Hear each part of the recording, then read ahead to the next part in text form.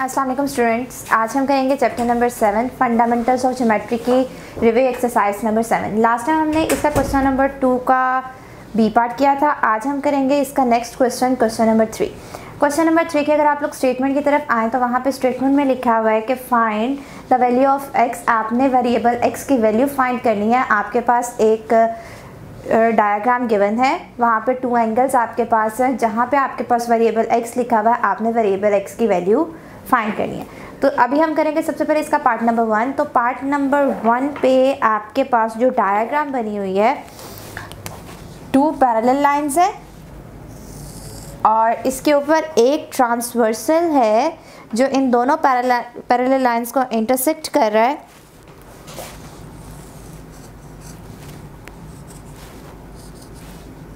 और आपके पास जो टू एंगल्स बन रहे हैं, एक एंगल है आपके पास 42 डिग्री और दूसरा एंगल है आपके पास x plus fourteen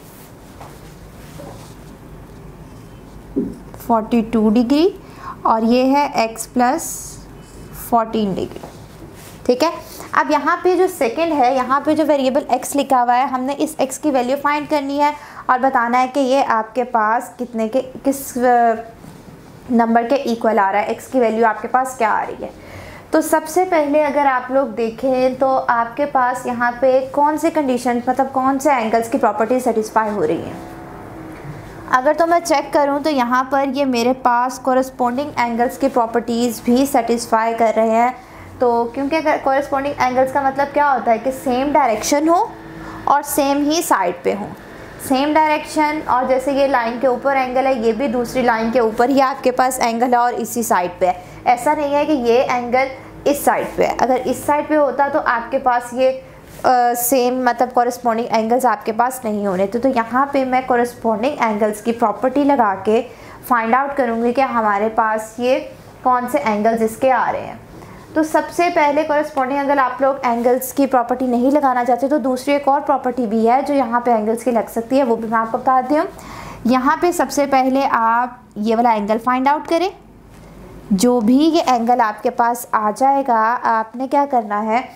इसको जैसे कि हमने कहा था कि आपके पास जो टू एंगल्स होते हैं इक्वल्स टू 180 डिग्री होता है मतलब सप्लीमेंट्री एंगल्स के आपके पास ये जो टू एंगल्स को अगर हम ऐड कर दें तो कॉरस्पॉन्डिंग मतलब कंजक्टिव uh, एंगल्स को टू ऐड कर दें तो आपके पास 180 डिग्री आना चाहिए। तो हम वो वाला काम भी यहाँ पे कर सकते हैं ये वाले एंगल और इस एंगल को अगर मैं ऐड कर दूँ तो मेरे पास टोटल जो इसका आंसर बनना चाहिए वो आपके पास 180 के इक्वल इसका साम आना चाहिए। तो आप लोग वो वाली प्रॉपर्टी लगाकर भी फाइंड आउट कर सकते हैं। तो सबसे पहले मैं इसको यहाँ पे 180 जो डिग्री वाला एंगल है, उससे फाइंड आउट करूँगी। फिर देखेंगे कि हमारे पास इसका जो सॉल्व करने से आपके पास जो एक्स की वैल्यू आएगी, वो आपके पास क्या आती है? चलें, अब स्टार्ट करते हैं। पार्ट नंबर वन गिवन क्या है आपके पास? मयमेंट एंगल मैंने आपके पास इस एंगल की बात किया तो इसे आप कोई भी वेरिएबल का नेम दे लें। ठीक है? आ, मैं इसे दे देती हूँ बी ये आपके पास है एंगल बी आप इसके अलावा कोई भी वेरिएबल एक्स वाई जेड में से भी दे सकते एक्स नहीं दे सकते क्योंकि एक्स यहाँ पे पहले यूज़ किया हुआ है। एक्स के अलावा आप कोई भी दे सकते हैं।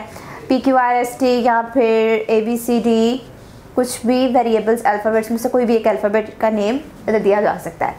तो अब मैंने करना यह है कि अगर मैं मेज़रमेंट एंगल बी को ऐड कर दूँ 42 डिग्री के अंदर तो मेरे पास क्या होगा? उसका सम 180 डिग्री के इक्वल आना चाहिए। ये देखें मैंने आपको एक दफ़ा सर्कल की एंगल से बताया था। आ, सर्कल से? जी। सर्कल से मैंने आप लोगों को बताया था कि आपके पास जो ऊपर वाली साइड होती है, ये 180 के इक्वल होती है डिग्री के और नीचे वाली साइड भी आपके पास 180 डिग्री के इक्वल होती है। ठीक है? लेकिन आप लोगों ने अगर ये फाइंड आउट करना है कि आपके पास ये 180 इस पूरे का, इसमें आपके पास टू एंगल्स भी हो सकते हैं थ्री एंगल्स भी हो सकते हैं फोर एंगल्स भी हो सकते हैं कितने भी एंगल्स हो सकते हैं, लेकिन उनका सम आपके पास 180 डिग्री के इक्वल ही आना चाहिए। तो यहाँ पे अगर मैं चेक करूँ तो यहाँ पे अगर मैं इन दोनों एंगल्स को ऐड करती हूँ फॉर एग्ज़ाम्पल यहाँ पे मेरे पास एक स्ट्रेट लाइन है, एक एंगल इस तरफ़ है, एक एंगल इस तरफ़ है। अगर इन दोनों को मैं ऐड करूँ तो टोटल इनका सम 180 होना चाहिए। इसी तरह अगर मैं इन दोनों एंगल्स को ऐड कर दूँ तो इनका सम भी 180 डिग्री के इक्वल होना चाहिए।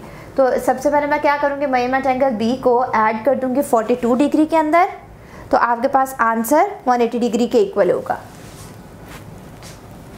Measurement angle B plus 42 degree equals to 180 degree ठीक है?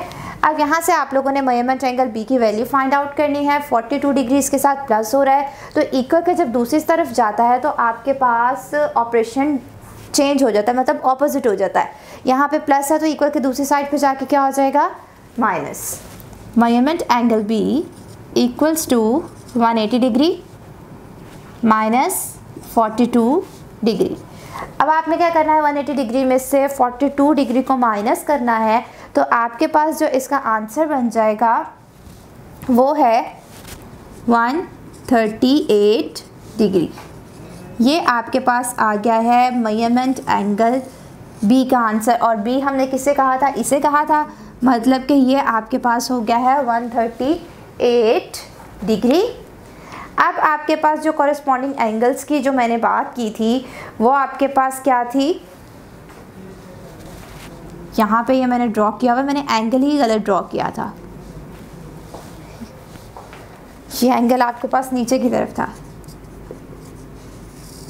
हाँ आप ठीक है। जो मैंने आपसे कॉरेस्पॉन्डिंग एंगल्स की अब बात की थी तो कॉरेस्पॉन्डिंग एंगल्स का क्या था आपके पास? कि ये देखे सेम डायरेक्शन में है ये भी पहली पैरेलल लाइन के नीचे भी आपके पास जो है, नीचे की तरफ़ एंगल है और दूसरी लाइन के भी नीचे की तरफ़ एंगल है और सेम एक ही साइड पे दोनों एंगल्स है। तो मतलब कि ये कॉरेस्पॉन्डिंग एंगल्स है और कॉरेस्पॉन्डिंग एंगल्स आपके पास इक्वल होते हैं, ठीक है? तो इक्वल करेंगे मैं मेज़रमेंट एंगल बी को इक्वल कर दूँगी एक्स प्लस फोर्टीन डिग्री के equal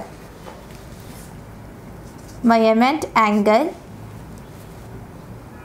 X plus fourteen equals to आपके पास है वन थर्टी एट डिग्री। मतलब मेज़रमेंट एंगल बी का नेम दिया हुआ था तो मैं मेज़रमेंट एंगल बी लिख देती हूँ। नीचे जाके आपके पास one thirty eight degree write कर दूँगी। ये कौन सी प्रॉपर्टी हमने लगाई है? कॉरेस्पॉन्डिंग की। तो आप लिखना चाहते हैं तो लिख दें मैंशन कर दें।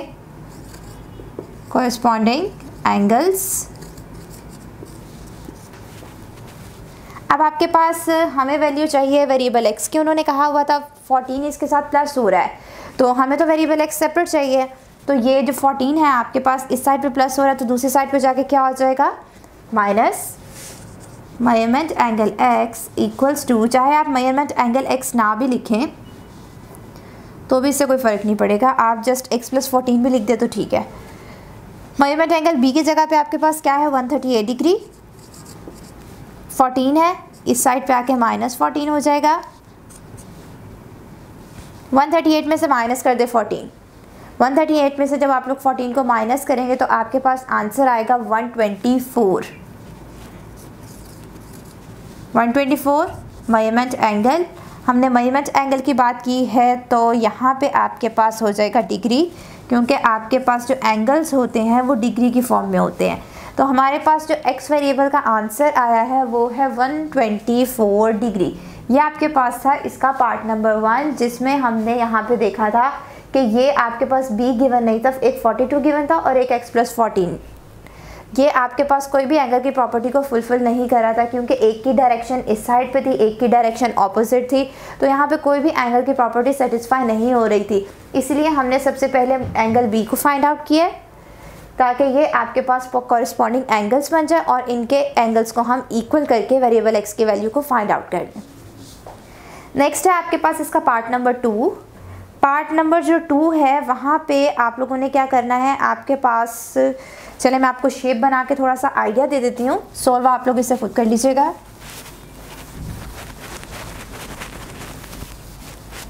आपके पास क्या गिवन है? टू पैरेलल लाइंस गिवन है। बल्कि पैरेललोग्राम आपके पास पूरा गिवन है।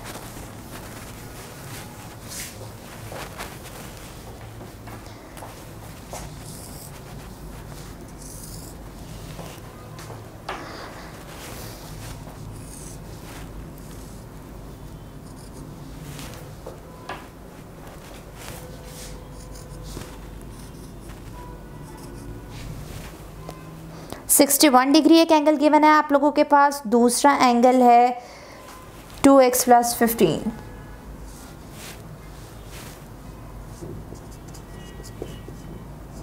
और यहाँ पे आपके पास है 61 डिग्री। हमने फाइंड आउट करना है यहाँ पे भी वेरिएबल एक्स की वैल्यू को तो मैं आपको थोड़ा सा बता देती हूँ कि आप लोगों ने इसको फाइंड आउट करना है तो किस तरीके से करना है। अब यहाँ पे आपके पास एक पैरेललोग्राम की शेप बन गई है मतलब यहाँ पे आपने पैरेललोग्राम की प्रॉपर्टीज़ को सेटिस्फाई करना है। तो सबसे पहले मुझे ये वाला एंगल फाइंड आउट करना है। ये फाइंड मेरे पास तभी हो सकता है, यहाँ तो इसके पास ये वाला एंगल मुझे पता हो या तो मुझे ये वाला एंगल पता हो। इन दोनों में से कोई भी अगर एक एंगल मुझे पता है तो मैं इसको फाइंड कर सकती हूँ। तो सबसे पहले मैं क्या करूँगी? आपको पैरेललोग्राम की प्रॉपर्टी का पता है कि अगर ये वाला एंगल 61 डिग्री है तो इसके ऑपोजिट वाला एंगल भी सेम होता है। मतलब कि ये भी आपके पास 61 डिग्री बन जाएगा। आप लोगों को जैसे मैंने कहा, करवाया हुआ है कि आप लोगों ने सबसे पहले इनको नेम दे देना है। नेम देने के बाद आप लोगों ने इसे सॉल्व करना है।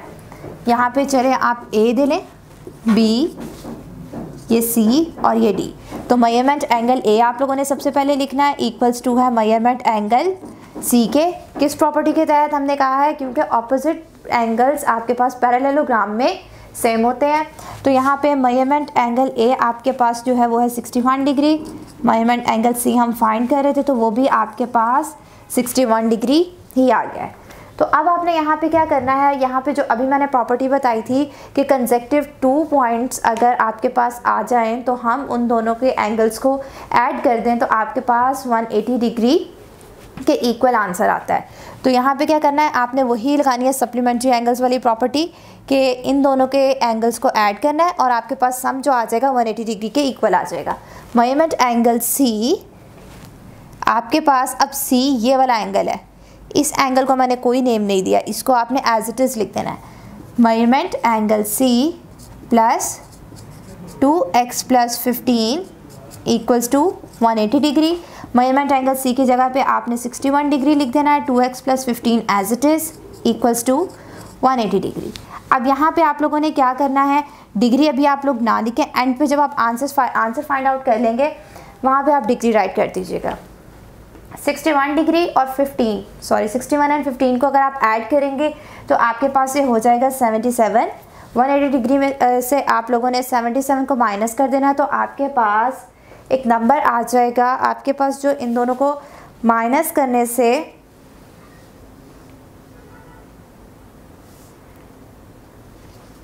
ठीक है, इन दोनों को माइनस करने से आपके पास जो आएगा, आई थिंक सो यहाँ पे क्या लिखा हुआ है? सेवेंटी सेवन लिखा है तो ठीक है। वन ज़ीरो थ्री आ जाएगा। तो अब आपने टू को इस साइड पे जाके डिवाइड कर देना है।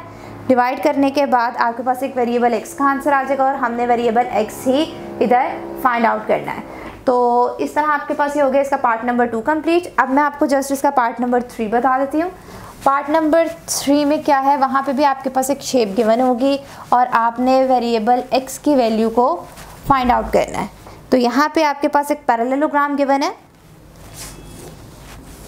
पैरेललोग्राम में जो आपके पास इन्होंने एंगल्स दिए हुए हैं, वो है एक 110 और दूसरा है 3x plus one.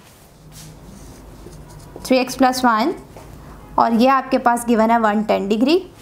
और इसके अलावा इन्होंने आपको इस क्वेश्चन में नेमिंग भी दी हुई है वेरिएबल्स की, P Q R S. P Q R S. सबसे पहले आपने लिखना है यहाँ पे P Q R S is a parallelogram क्योंकि ये आपके पास पैरेललोग्राम है तो यहाँ पे जो प्रॉपर्टीज़ अब लगेंगी, वो भी हमने पैरेललोग्राम के अकॉर्डिंग लगानी है। तो यहाँ पे आपके पास एक मयमेंट एंगल एस गिवन है और एक आपके पास मयमेंट एंगल आई गिवन है। ये आपके पास दोनों कंजेक्टिव पॉइंट्स है। तो मैंने अभी आप लोगों को एक प्रॉपर्टी बताई थी जो कंजेक्टिव एंगल्स की पैरेललोग्राम की है कि अगर टू कंजेक्टिव एंगल्स आपके पास आ रहे हैं तो उन दोनों का अगर मैं सम करूँ तो आपके पास आंसर 180 डिग्री के इक्वल आता है। तो अगर मैं इन दोनों को सम कर देती हूँ तो आपके पास 180 डिग्री आंसर आना चाहिए। Three X plus one plus one ten equals to one eighty degree आप लोग लिख लीजिए। क्योंकि ये आपके पास एंगल है तो आप इसे मयरमेंट की फॉर्म में लिख दें। और ये भी डिग्री है, ये भी डिग्री है तो ये भी आपके पास डिग्री है। अब देखें। अब आपने यहाँ से x की वैल्यू फाइंड आउट करनी है तो मेज़रमेंट एंगल 3x हो गया प्लस ये आपके पास one degree plus one ten degree equals to one eighty degree one ten के अंदर अगर मैं वन को ऐड कर देती हूँ तो आपके पास जो इसका आंसर बनता है, वो है one eleven equals to one eighty degree ये आपके पास इस थ्री एक्स के साथ मल्टीप्लाई सॉरी प्लस हो रहा है तो दूसरी साइड पे जाके माइनस हो जाएगा। वन एटी डिग्री माइनस, अब आप इन दोनों को माइनस कर दें। अगर मैं इन दोनों को माइनस कर दूँ तो मेरे पास इसका आंसर 69 डिग्री बनता है। ठीक है? मेरे पास क्या आंसर बना है? 69 डिग्री। मुझे चाहिए जस्ट वेरिएबल एक्स इसके साथ। उसके साथ थ्री नहीं चाहिए। थ्री तो हो रहा है एक्स के साथ मल्टीप्लाई मतलब मुझे थ्री को इक्वल के दूसरी साइड पे लेके जाना है। तो जब मैं इसे इक्वल के दूसरी साइड पे लेके जाऊँगी तो ये अगर मल्टीप्लाई हो रहा है तो दूसरी साइड पे जाके डिवाइड हो जाएगा। अब इसे कर देते हैं डिवाइड मेज़रमेंट एंगल एक्स आपके पास as it is three two ज़ा सिक्स थ्री थ्री ज़ा नाइन और डिग्री आपके पास वैसे ही। आपके पास जो वेरिएबल एक्स का आंसर आया है, वो है ट्वेंटी थ्री डिग्री। ये इस तरह हो गया आप लोगों के पास। ये part number three, question number three का कंप्लीट। मैंने जस्ट इसमें आपको क्वेश्चन नंबर थ्री के पार्ट नंबर टू का आइडिया दे दिया था। वो आप लोगों ने इसी तरह खुद सॉल्व कर लेना, वो भी आप इजीली कर लेंगे। तो इस तरह आज हम लोगों ने कर लिया है एक रिव्यू एक्सरसाइज नंबर सेवन का। Question number three complete. I hope आपको इस पूरे क्वेश्चन की अच्छे से समझ आ गई होगी।